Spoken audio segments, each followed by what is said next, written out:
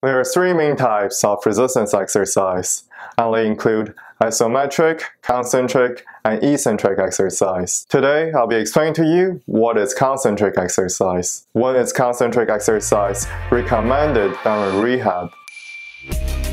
Concentric contraction involves muscle contracting while shortening. For example, to concentrically contract my bicep muscle, I can hold onto a weight and flex my arm. In this example, my bicep is shortening but contracting at the same time. In terms of rehabilitation, physiotherapists often prescribe concentric exercises to promote an increase in our muscle strength, muscle coordination, and joint stability. In particular, concentric exercise is often prescribed in the management of general muscle weakness. For example, after a stroke, people commonly have difficulty walking up the stairs. This may be due to weakness of our hip flexor muscle, where we are unable to lift our leg up onto the stair against gravity. In this case, the physiotherapist may prescribe a concentric exercise to help us restore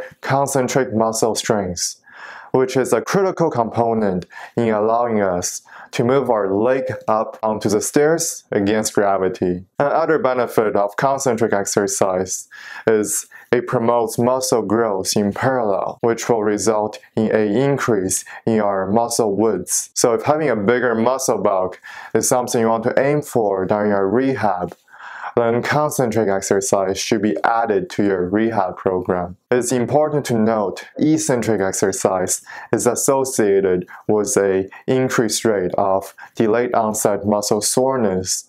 This may be due to that eccentric contraction is able to generate greater force compared to concentric contraction.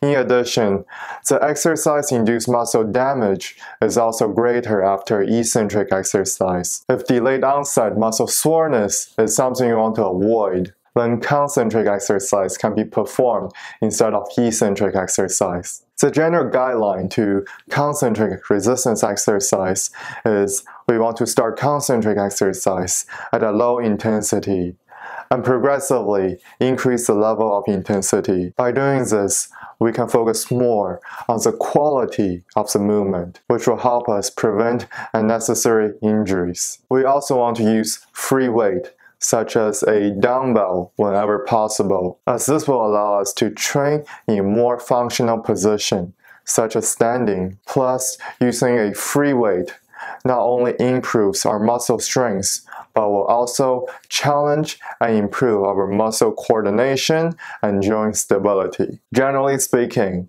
we want to aim for 3 sets of 10 repetitions and do the same routine every once or twice per day. It's recommended to perform a set of isometric exercise before concentric exercise as this will help us reduce pain and allow us to generate a higher muscular contraction during concentric exercise. And by doing this, we can also build up more muscle strength. If you like the content from today's video, feel free to subscribe by clicking the right button below. And once again, thank you for watching. I will see you next time.